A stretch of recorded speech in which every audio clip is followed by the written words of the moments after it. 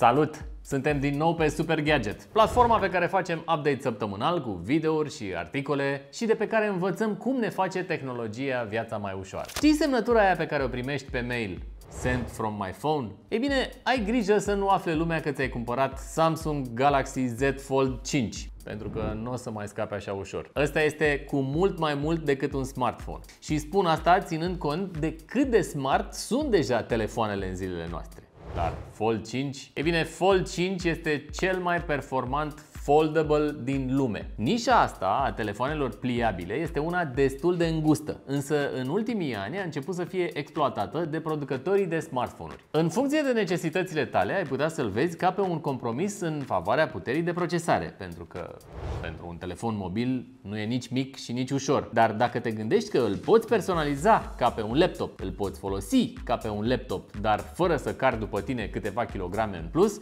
și un ventilator care îți pornește când ți-e lumea mai dragă, ei bine, Fold 5 începe să fie fix gadgetul acela de care ai nevoie. Și dacă primul dispozitiv care îți vine în minte când te gândești la dispozitive pliabile este Samsung Galaxy Z Fold, asta s-ar putea să fie și pentru că modelul producătorului sud-corean a ajuns deja la 5-a generație. Deci vorbim despre un gadget matur, tried and tested. Iar treaba asta este cu atât mai evidentă cu cât Samsung a introdus mai degrabă noutăți minore pentru Galaxy Z Fold 5, prin care a eliminat unele inconveniente pentru a oferi o experiență de utilizare superioară. Hai să vedem împreună ce s-a schimbat. Design și construcție. Știi cum e? Oricât de mult ți-ai dat silința să faci totul perfect, după ce termin treaba, îți dai seama că se putea și mai bine. Așa că Samsung a lucrat la Galaxy Fold 5, pe aici, pe acolo, dar a pus accent pe construcție pentru a corecta unele neajunsuri din trecut. Uite, de exemplu, cum arată noul Fold 5 pliat. Este pliat complet, ca un sandwich perfect gândit, nu doar pliat parțial. Și asta mulțumită noi balamale, care este o minune inginerească și de design. Sigur, acum arată mai bine pliat imediat, dar marele avantaj este că Fold 5 este mai compact și, cel mai important, că îngreunează pătrunderea prafului aici. Sau, de ce nu, a lichidelor. Apropo de asta, telefonul respectă standardul IPX8, adică rezistă și la apă, dar nu și la praf, pentru că balamaua nu poate fi încă închisă hermetic. La confortul sporit, atunci când îl porți în buzunar, contribuie și cura de slăbire prin care a trecut uh, dispozitivul. Lățimea a scăzut de la 15,8 mm la 13,4, iar greutatea s-a redus ușor de la 263 de grame la 253 de grame. Modificări mici pe foaie, dar sesizabile în utilizare. Ecran. Când când deschizi Fold 5, ești întâmpinat de același ecran dinamic AMOLED 2X de 7,6 inch, disponibil pe Fold 4, pentru care Samsung a păstrat inclusiv pelicula protectoare de plastic. Luminozitatea display-ului a fost îmbunătățită de la 1000 la 1200 de nits pentru setarea de luminozitate înaltă și de la 1300 la 1750 de nits pentru luminozitatea maximă. Practic, poți să-l folosești fără probleme oriunde te-ai afla fie și pe o plajă din Ibița într-o zi însorită, ceea ce de altfel îți doresc. Pentru că vorbim despre un ecran pliabil, foarte pliabil, la cum se închide acum telefonul, încă nu am ajuns în punctul în care cuta de pe mijloc să fie insesizabilă. Dar partea bună e că e vizibilă doar din anumite unghiuri.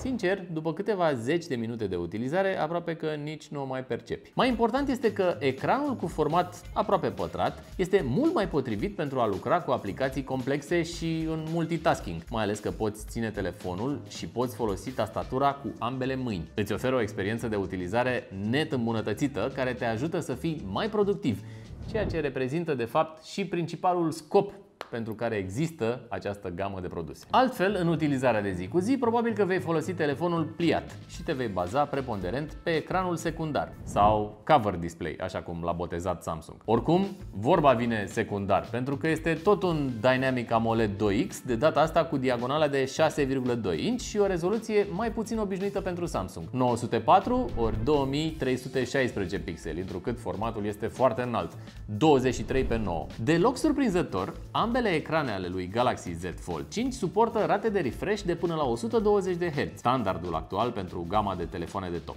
Performanțe. Pentru că deja vorbim despre cel mai performant foldable de pe piață, platforma hardware a lui Fold 5 a trecut printr-un upgrade subtil. Fold 5 folosește un chipset Snapdragon 8 Gen 2 construit de Qualcomm cu grafică Adreno 740 și 12 GB de RAM, care îți garantează o putere de lucru mai mult decât suficientă pentru a acoperi toate necesitățile când vine vorba de multitasking. Și la capitolul spațiu de stocare stai fără griji pentru că ai la dispoziție versiuni de 256, 512 GB și 1 tera. Așa cum îți imaginezi, telefonul pliabil rulează excelent cu această platformă hardware. Și asta e cu atât mai important cu cât ar trebui să folosești facilitățile de multitasking oferite de ecranul principal. De altfel, versiunea de Android 13 pentru telefoane pliabile îți permite să rulezi până la 4 aplicații simultan, dintre care una în modul Pop-up View. Lansarea acestora este simplificată de existența unui taskbar foarte apropiat ca funcționalitate de ceea ce găsești pe un laptop sau desktop. În funcție de preferințele tale, aici poți găsi inclusiv până la 4 aplicații utilizate recent și le poți deschide în modul multi-window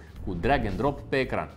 Multitasking, frate. Un alt aspect interesant care contribuie decisiv la o experiență de lucru plăcută este modul în care poți folosi cele două ecrane din punct de vedere al home screen-ului și al listei de aplicații. Asta pentru că poți folosi același layout pentru cele două ecrane prin funcția Screen Mirroring sau le poți seta independent în funcție de modul care te avantajează cel mai mult pe tine. În plus, există și un așa numit panel cu aplicații pe una sau două bare verticale în care sunt afișate aplicații aplicațiile recent utilizate, dar și scurtături la aplicațiile tale preferate. Toate aceste opțiuni te ajută să-ți personalizezi interfața software în funcție de propriile preferințe, ceea ce în final se traduce printr-o productivitate mai bună. Dar tot vorbim de productivitate de parcă n-am fi oameni cu nevoi de entertainment. Evident că la așa specificații și cu așa ecran, gamingul o să fie o adevărată plăcere. Iar dacă vrei să intri în full PC mode, poți conecta Fold 5 la un monitor, folosind astfel telefonul ca un touchpad sau banc de lucru.